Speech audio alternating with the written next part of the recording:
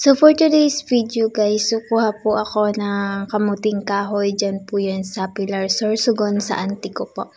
So bali guys, kaya andyan po ako kasi um, wala po ako muna sa work.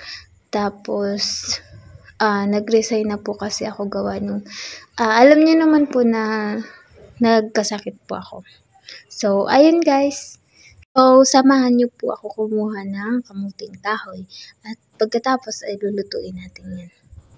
So, ang sakit ko nga po pala nung nag-work pa po ako sa SM kasi uh, panay sakit po nun nung dyan ko.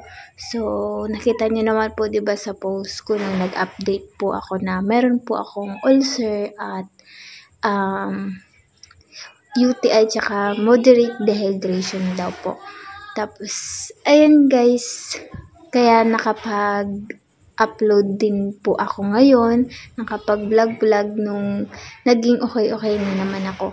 Tapos, ayan guys, kung nakikita nyo, balik na naman sa dati yung katawan ko, sobrang payat ko na naman.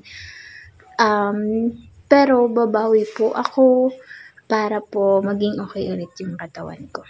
So, bali dyan guys, sobrang init po. Pero okay lang. So, so bago ko muna po pala guys kinukuha yung kamuting kahoy, tinatanggal ko muna yung talbos ng kamuting kahoy kasi pwede din po yung gulayin. Dahil tanghali po nung kinuha ko yan, kaya sobrang init po.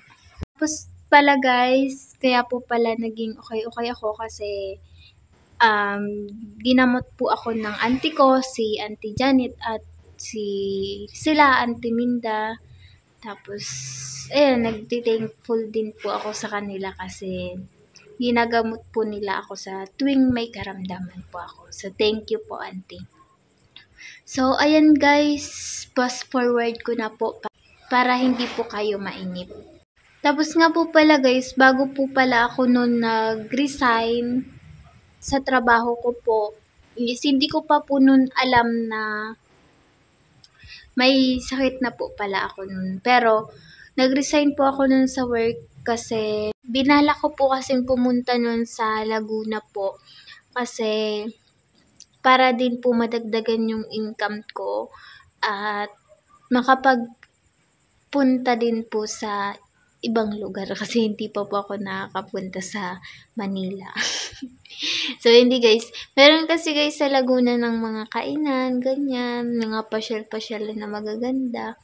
So, pero ang ano ko din po nun, mag trabaho po sa Laguna para din po madagdagan yung sahod ko. So, bali po pala dyan guys, uh, binabalatan ko na po yung kamuting kahoy para mailuto ko na po.